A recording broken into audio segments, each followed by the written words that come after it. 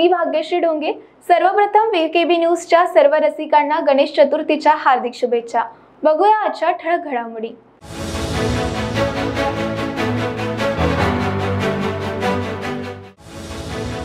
राज्याचे मुख्यमंत्री एकनाथ शिंदे यांनी पर्यावरणपूरक गणेशोत्सव साजरा करण्याचं केलं आवाहन.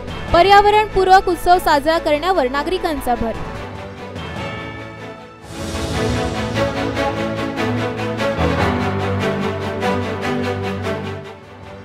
पुण्यातील प्रसिद्ध श्रीमंत दगडूशेठ हलवाई सार्वजनिक गणपती ट्रस्टच्या श्रींचे मुख्य मंदिरांपासून गरुड रथातून झाले आगमन शहरातील संपूर्ण वातावरण झाले गणेशमय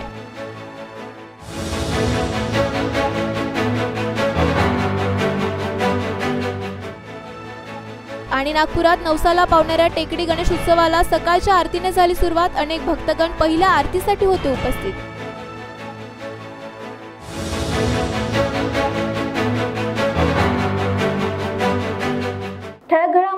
आता सविस्तर वृत्त. यंदा पर्यावरणपूरक उत्सव साजरा करण्यावर नागरिकांचा भर दिसून येत आहे. राज्याचे मुख्यमंत्री एकनाथ शिंदे यांनी देखील पर्यावरणपूरक गणेश उत्सव साजरा करण्याचं आवाहन केलंय. गेल्या दोन वर्षात आपण कोरोना साथीमुळे गणेश उत्सव मोठ्या प्रमाणात साजरा करू शकलो नाही. पण यावर्षी सर्वत्र गणेश उत्सव भक्तिभावाने आणि आनंदाने साजरा केला जाते. एक जुलै दोन हजार बावीसपासून सिंगल यूज प्लास्टिकचा वापर उत्पादन आणि वितरण यावर बंदी घालण्यात आली आहे. उत्सवाच्या निमित्तानं मी आपणाला विनंती करतो या प्लास्टिकमुळे होणारं प्रदूषण थांबविण्यासाठी आपण निश्चय करूया आणि सिंगल यूज प्लास्टिकचा दैनंदिन वापर बंद करण्यात यावं असं आवाहन मुख्यमंत्री एकनाथ शिंदे यांनी केलंय. राज्याचे मुख्यमंत्री एकनाथ शिंदे यांनी देखील पर्यावरणपूरक गणेश उत्सव साजरा करण्याचं आवाहन केलंय. मुख्यमंत्र्यांनी म्हटलंय की सिंगल यूज प्लास्टिकचा वापर बंद करूयात आणि पर्यावरणपूरक गणेश उत्सव साजरा करूयात. सर्वांना गणेश उत्सवाच्या खूप खूप शुभेच्छा अशा शब्दात मुख्यमंत्री शिंदे यांनी शुभेच्छा दिल्या आहेत गणपतीच्या आशीर्वादानं कोरोनाचं संकट दूर झालंय.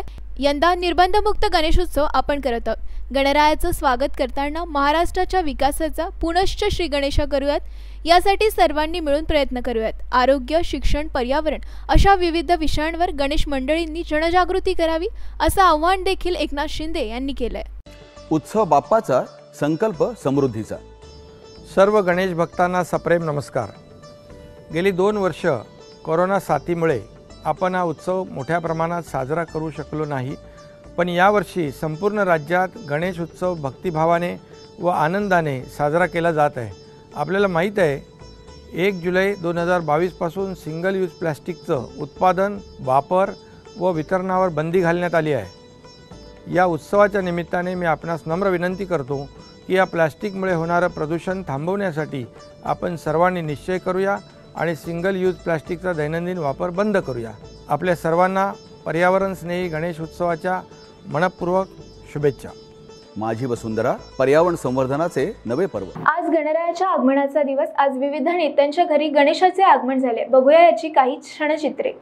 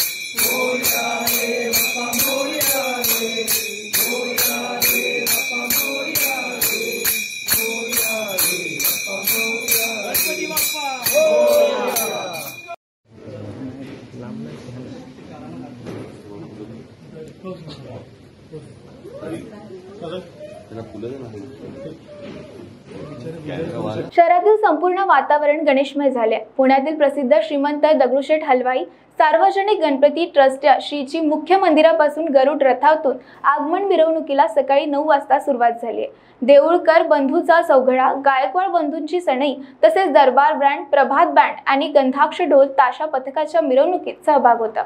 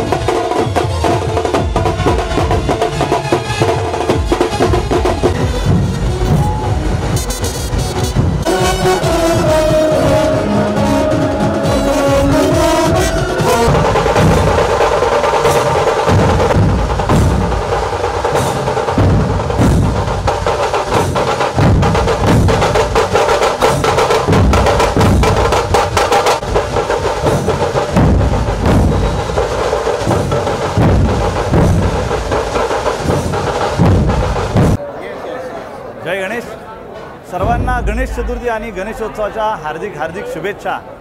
अत्यंत उत्साह मांगल्याचं वातावरण संपूर्ण पुणे शहरामध्ये झालेलं आहे. श्रीमंत दगडूशेठ आलवाई गणपती बाप्पांच्या मंदिरामध्ये सर्व कार्यकर्ते बाप्पांच्या स्वागतासाठी सज्ज झालेले आहेत. थोड्याच वेळात या ठिकाणी गणपती बाप्पांची महामंगल आरती संपन्न होणार आहे आणि गणपती बाप्पांच्या आगमन मिरवणुकीला सुरुवात होणार आहे. विविध पुष्पांनी सजवलेल्या गरुड रथामधनं गणपती बाप्पा विराजमान होऊन हे मुख्य रस्त्याने पेंडॉलमध्ये जाणार आहेत आणि त्या ठिकाणी श्रींची प्रतिष्ठापना. अकरा अजून सदोतीस मिनिटांनी. गिरनार पीठाचे पीठाधीश्वर स्वामी महेशगिरी बापू यांच्या शुभ हस्ते संपन्न होणार आहे आणि गणेश भक्तांना बाप्पांचं दर्शन खुलं होणार आहे. अतिशय उत्साह सर्व कार्यकर्ते गणेश भक्त आणि सर्व नागरिकांमध्ये संचारलेला आहे. संपूर्ण गणेशमय वातावरण झालेलं आहे. आणि दोन वर्षाच्या कोरोनाच्या खडतर कालखंडानंतर हा आनंद आपल्याला पाहायला मिळतोय. हा हा आनंद नक्कीच वृद्धिंगत होत जावा हीच गणरायांचरणी प्रार्थना. पुन्हा एकदा आपल्या सर्वांना गणेश उत्सवाच्या हार्दिक शुभेच्छा. वेळ झाली आता एका छोट्याशा विश्रांतीची. भेटूया विश्रांतीनंतर. बाय सब जानना चाहते हैं। मेरा फेवरेट कलर मेरा फेवरेट डेस्टिनेशन मेरी फेवरेट डिश पर कोई ये नहीं पूछता कि फेवरेट डिश मैं बनाती कैसे हूँ। अरे यार जिसे टेस्टी खाना पसंद है वो अच्छे टेस्ट तक पहुँच ही जाता है। सुरुचि मसाले। खाने में हो रुचि तो घर लाइए सुरुचि। अपने सपनों की उड़ान भरने की इच्छा तो हर किसी की होती है। पर पंख भी तो मज़बूत होने चाहिए।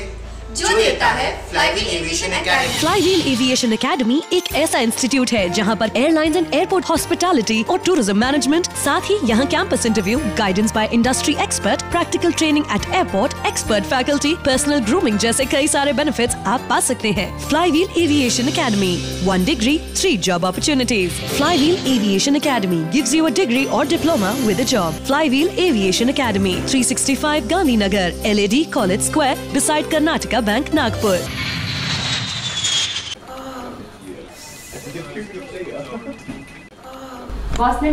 बाहर बाहर उठो बैठो। तकलीफ़ उठने बैठने की नहीं तकलीफ़ बवासीर की है। बवासीर फिशर भगंदर पाइलोनियल साइंस का आयुर्वेद तथा आधुनिक लेजर से उपचार कॉल और विज़िट करें W W W dot piles fistula cure dot com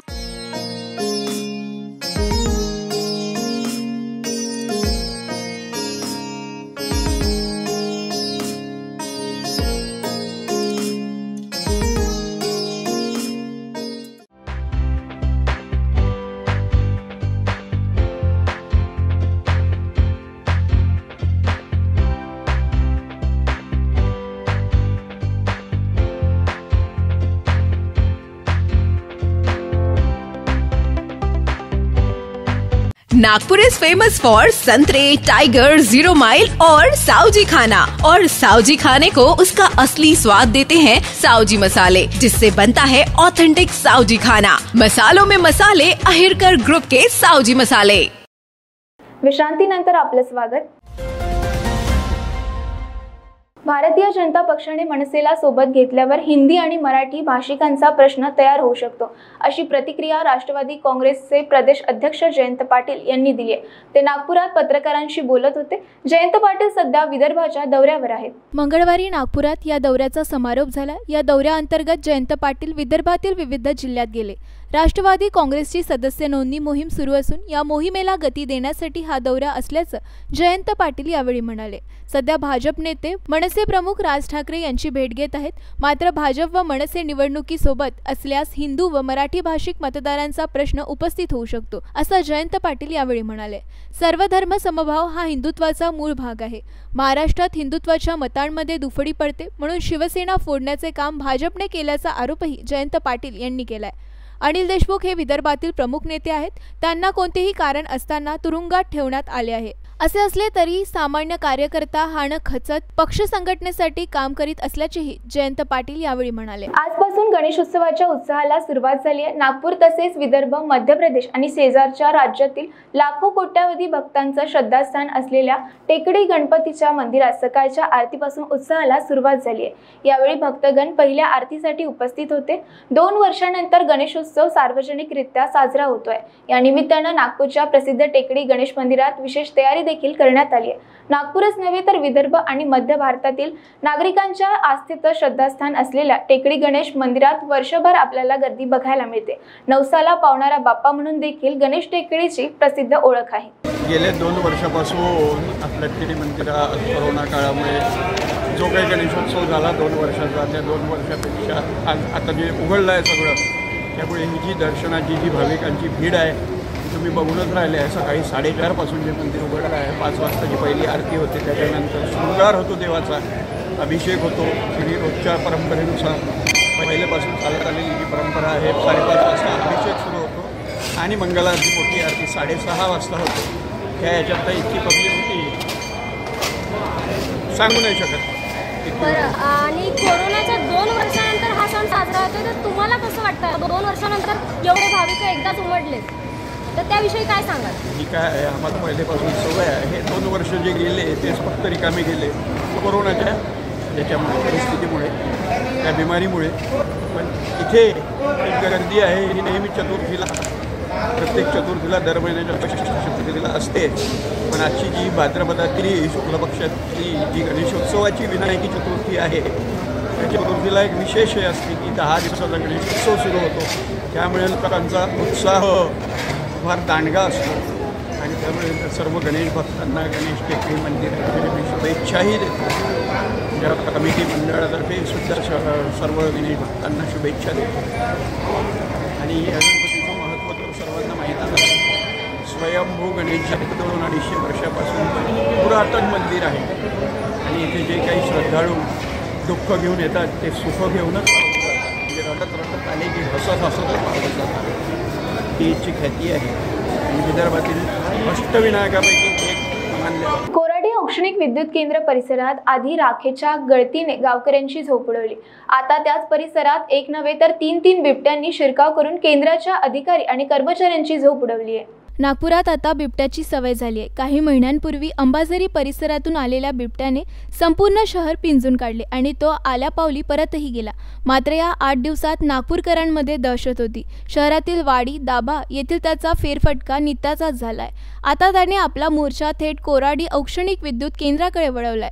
केंद्राच्या कोराडी परिसरातील सीसीटीव्ही कॅमेऱ्यात तो कैद झाला. याआधीही तो परिसरात येऊन गेला पण यावेळी त्याचा मुक्काम वाढला. गेल्या आठ दिवसांपासून कोराडी परिसरात कोळसा वाहून नेणाऱ्या रेल्वेच्या कर्मचाऱ्यांना बिबट्याने दर्शन दिले.